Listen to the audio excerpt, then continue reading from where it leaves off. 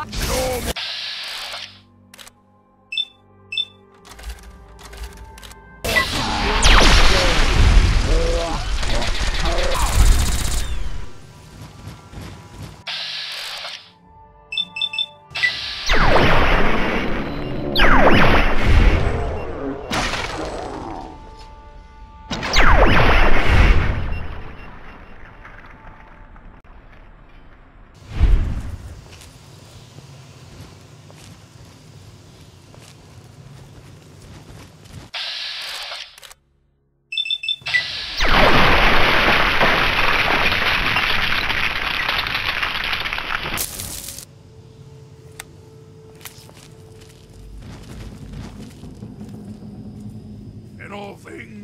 the calm heart must prevail.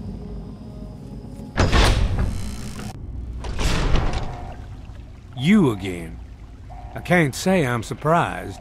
You and your ilk seem hell-bent on destroying everything our government has worked to achieve. There's nothing to stop me from killing you this time. Let's end this. I beg to differ. The Enclave is at the height of its power. Once this facility is operational, the masses will flock to the Enclave for fresh water, protection, and a plan for the future. The American people are worth fighting for. The future must be secured. I won't let you stand in the way of that. And what would you have me do? Let you have everything I've worked to build? Let you destroy it all? And you? You would just let me leave? How can I be sure you won't just shoot me once I turn my back on you? I suppose it doesn't matter much now. Very well. I shall leave you to your fate.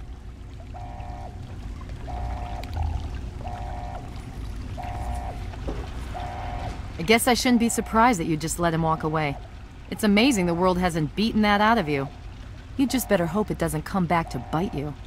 Now let's get this place locked down. Hello? Hello? Is anyone there? It's Dr. Dr. Li, it's Something's Sarah wrong with the Lyons. I'm in the control room. Please, We're both here. What's going on? I've been monitoring the equipment remotely, and we have a serious problem. The facility has been damaged during the fighting. Some of it looks accidental, some of it may have been sabotage. There's pressure building up in the holding tanks. It needs to be released now, or else the whole facility could explode. To release the pressure, you're going to have to turn the purifier on. Do you understand me? It has to be turned on now. If I'm reading this right, I'm afraid there are lethal levels of radiation inside the chamber. I'm sorry. I wish there was some other way, but there's just no time. It has to be done now, or the damage will be catastrophic. Well, so much for celebrating. One of us is going to have to go in there and turn the damn thing on. And whoever does it isn't coming back out. Not exactly how I imagined going out, you know? So, what should we do? Draw straws? I wish that were true. Really, I do. But you heard Dr. Li. We have to do this right now, or who knows how bad it'll be. One of us has to go in there.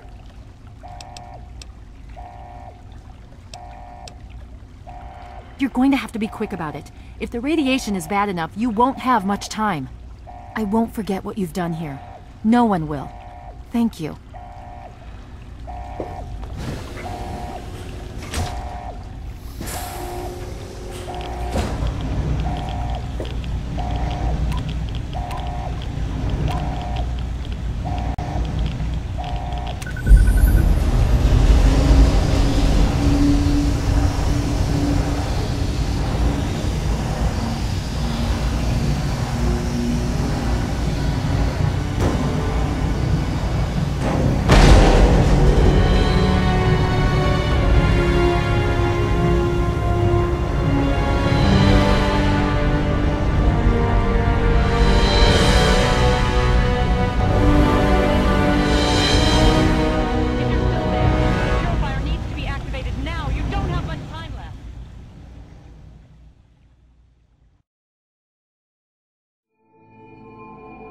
And so it was that the lone wanderer ventured forth from Vault 101, intent on discovering the fate of a father who had once sacrificed the future of humanity for that of his only child.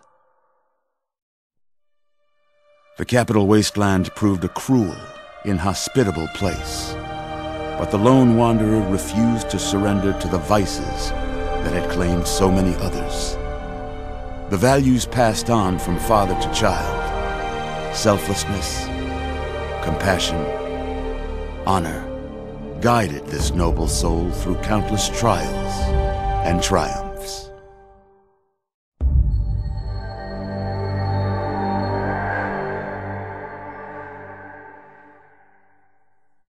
But it was not until the end of this long road that the lone wanderer learned the true meaning of that greatest of virtues sacrifice. Stepping into the irradiated control chamber of Project Purity, the child followed the example of the father, sacrificing life itself for the greater good of mankind. Thankfully, when selected by the sinister president to be his instrument of annihilation, the Wanderer refused. Humanity, with all its flaws, was deemed worthy of preservation. The waters of life flowed at last, free and pure for any and all.